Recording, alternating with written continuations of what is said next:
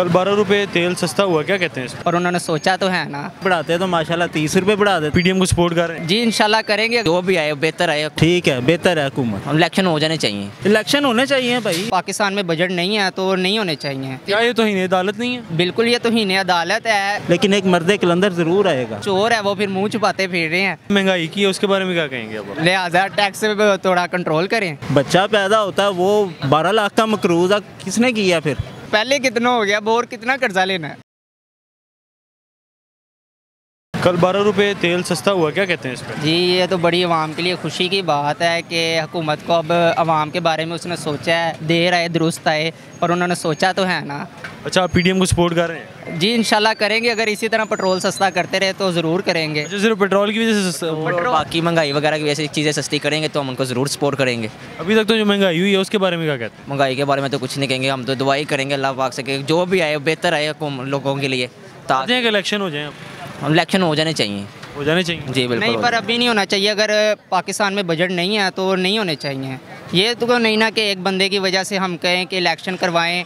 एक होता है ना कि घर में राशन नहीं है तो शोर डाले बिरयानी खानी है बिरयानी खानी फिर बिरयानी तो नहीं बनती ना। तो बाकी भूखे रह जाए। नहीं तो सुप्रीम कोर्ट ऑफ़ पाकिस्तान ने कहा कि चौदह मई को इलेक्शन हो जाने चाहिए। तो क्यों नहीं करवाए गए? तो फिर ये बात होती है ये तो ही अदालत नहीं है? बिल्कुल ये तोहन अदालत है। अगर तो सुप्रीम कोर्ट ने कहा है तो फिर तो बिल्कुल करवाने चाहिए क्योंकि अदालत की तोहन तो पाकिस्तान में जायज़ नहीं है ये कानून में भी नहीं है। तो ये तो बिल्कुल नहीं होना चाहिए ऐसे। तो हुआ है ना ऐसा? इस पे क्या कहेंगे अब इसमें अब यही कहेंगे कि बस अब जो चोर है वो फिर मुँह छुपाते फिर रहे हैं। और अब महँगाई से सस्ता कर दिया है पेट्रोल तो मेहरबानी है इनकी। और ऐसी आवाम के बारे में सोचें ये ना हो कि मैं कहूँ मैं पीटीआई का हूँ तो पुलिस छापा मार दे तो भाई मैं पीटीआई का नहीं हूँ मैं नून लीग का ही हूँ। अच्छा नून लिख के हैं? इसीलिए आप कह रहे हैं कि और तेल सस्ता कर दें। जी जी कर दे मेहरबानी। और जो अभी तक उन्होंने महँगाई की है उसके बारे में क्या कहेंगे अब उसके बारे में यही कहेंगे कि टैक्स लगा के इन्होंने महँगाई की है। तो लिहाजा टैक्स थोड़ा कंट्रोल करें।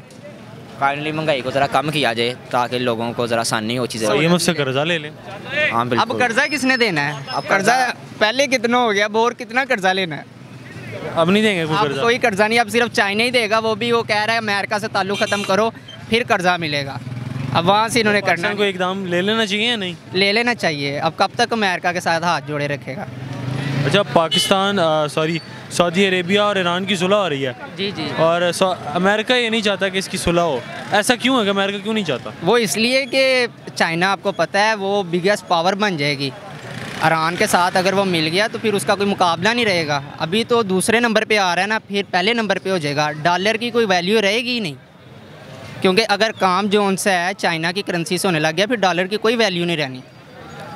बहुत शुक्रिया आपका। हुकूमत ने कल बारह रुपये तेल सस्ता कर दिया क्या कहते हैं इस पर मेहरबानी है उनकी जी।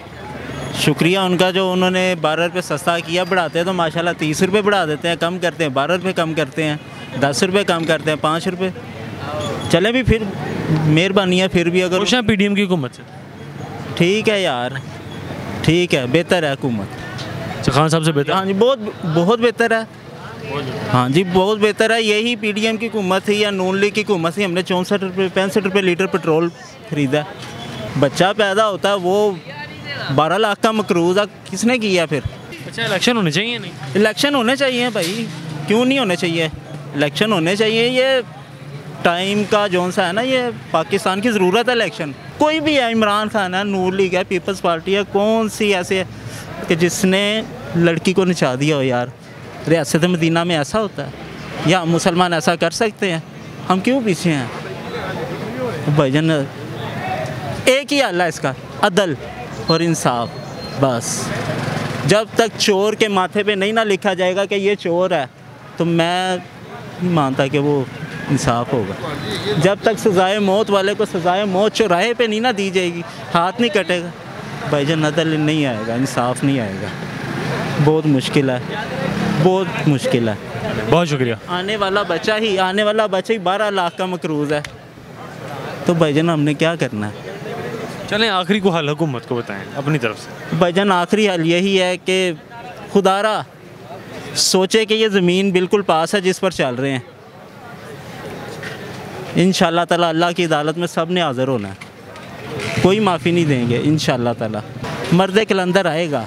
ये जैसे हालातों में मुल्क चल रहा है ना ये अल्लाह पाक की ज़ात चला रही है कोई नबियों के सदक़े वलियों के सदक़े चल रहा है। लेकिन एक मर्द कलंदर ज़रूर आएगा इन जब अदल भी होगा इंसाफ भी होगा चोर भी पकड़ा जाएगा सब कुछ होगा। कौन है वो?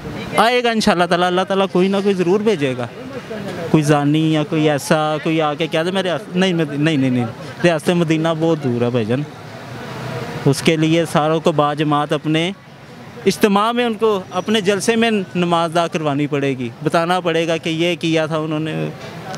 उनकी सीरत पे चलना पड़ेगा, वो बड़ी दूर की बातें हैं।